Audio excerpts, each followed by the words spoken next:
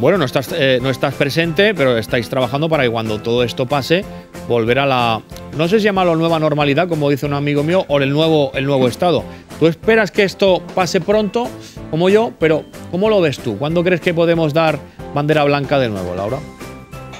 Pues eh, a ver cómo van las cosas, porque a mí lo que me lo que me asusta, digamos, todavía es un poco la irresponsabilidad de la gente. Es decir, se van cumpliendo plazos, todos tenemos ganas, por supuesto, de salir a la calle, de volver a ver a nuestros amigos, a nuestra gente, pero claro, eh, hay que pensar que llevamos mucho tiempo haciendo todos un esfuerzo, aislados en casa, encerrados, y, que esto no, no lo podemos tirar por la borda. Es decir, todo lo que hemos avanzado no podemos volver atrás.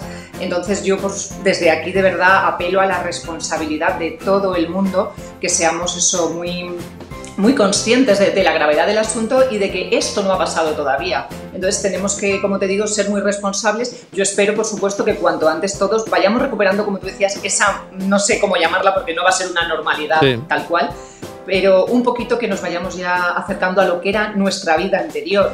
Pero, por ejemplo, aquí en Madrid, pues eso, bueno, vosotros también estáis así, que no, no hemos pasado de fase todavía, pero tenemos que tener mucho, mucho cuidado, mucha cautela y por favor que la gente sea responsable y que no, que no piense que esto ha terminado, porque hay que mantener todavía las distancias de seguridad, hay que utilizar las mascarillas, hay que, si todavía no puedes ver a todos tus amigos, no pasa nada, ya llegará el momento en que lo harás, ¿sabes? Pero hay que ser eh, bastante, mantener la cabeza fría todavía, por muchas ganas que tengamos, ¿sabes? de, de avanzar.